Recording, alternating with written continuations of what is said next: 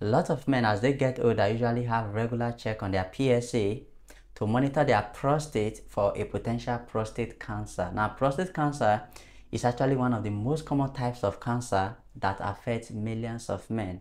But did you know that there are some certain things that can increase or spike up your PSA level and skew your PSA test results?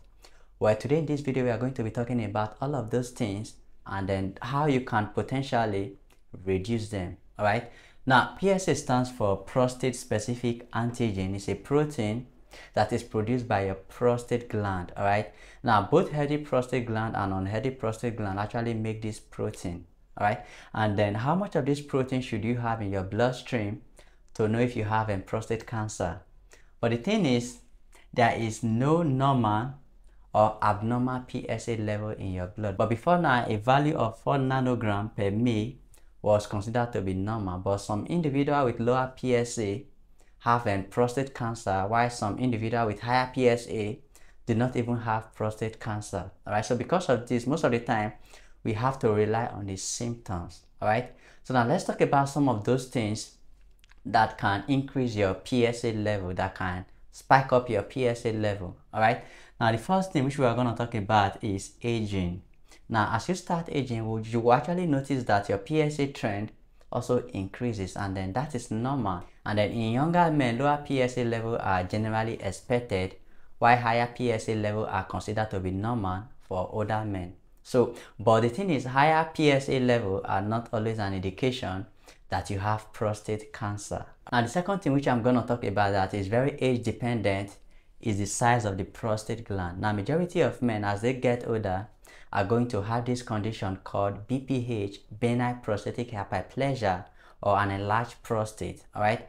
Now, people with this condition have their urethra skewed in such a way that it becomes more difficult for urine to pass through it. They are going to have, be having those symptoms of an enlarged prostate, painful urination, and all of those things.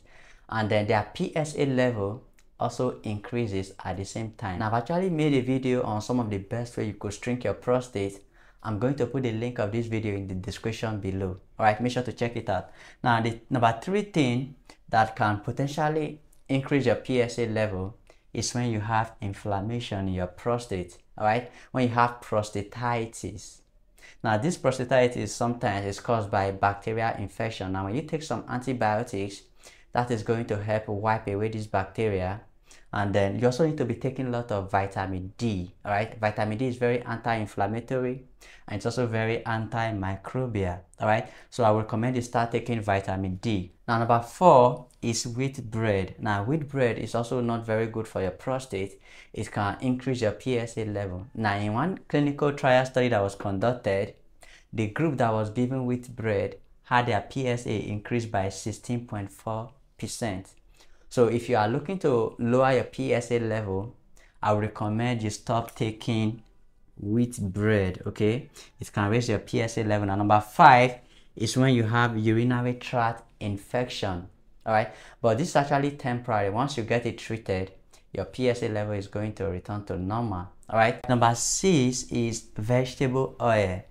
Now you hear cases of certain foods causing prostate cancer or increasing your risk of prostate cancer it's not actually that food. Sometimes it can be the oil you use in preparing that food because some of these oil are very pro-inflammatory. They can cause inflammation in your prostate, which can increase your PSA level and also increase your risk of prostate cancer.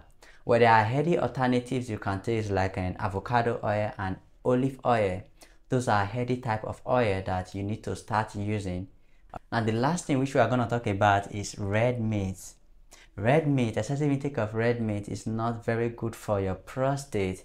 They contain some unhealthy fat that can severely affect your prostate, that can increase your risk of prostate cancer, as well as increasing your PSA level. Alright, so red meat is actually a no-go area when it comes to PSA. So if you have increased PSA before now, make sure to reduce your red meat intake as it's going to significantly increase your PSA and also potentially increase your risk of developing prostate cancer. So these are some of the things that can potentially increase your PSA level.